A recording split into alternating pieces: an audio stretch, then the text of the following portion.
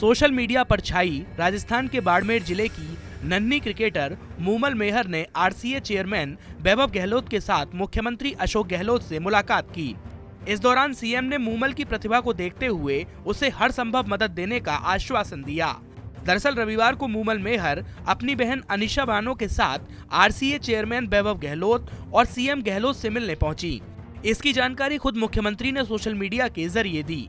RCA अध्यक्ष वैभव गहलोत ने CM से मुलाकात कराई, जिसके बाद मुख्यमंत्री सहायता कोष से क्रिकेट में आगे बढ़ने के लिए मूमल को मदद देने का आश्वासन मिला।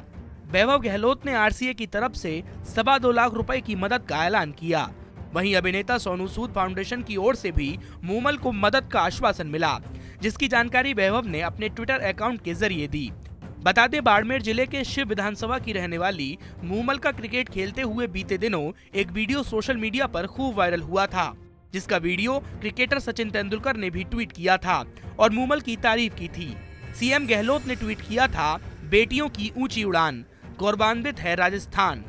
आज अपने परिश्रम व मेधा से वैश्विक चर्चा का विषय बनी प्रदेश की क्रिकेटर बेटी मूमल मेहर व उनकी बहन अनिशा बानो से आरसीए चेयरमैन श्री वैभव गहलोत के साथ मिलकर उन्हें उज्जवल भविष्य की शुभकामनाएँ दी।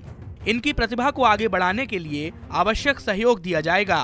बाड़मेर ज़िले के कानासर गाँव की रहने वाली व कक्षा आठवीं में पढ़ने वाली मूमल मेहर का बीते दिन रेत के पिच पर चौके छक्के मारते हुए एक वीडियो सोशल मीडिया पर वायरल हुआ था।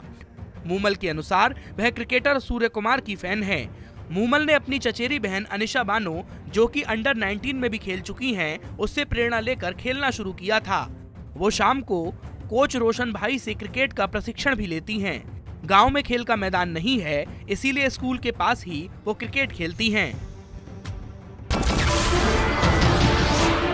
नमस्कार, मैं हूँ मानक गुप्ता। अगर आपको हमारा ये वीडियो पसंद आया हो तो इसे लाइक और शेयर ज़रूर करें। और हाँ हमें सब्सक्राइब और फॉलो करना ना भूलें, ताकि आप देश और दुनिया की कोई खबर मिस ना करें। तो जुड़े रहिए हमारे साथ और देखते रहिए न्यूज़ 24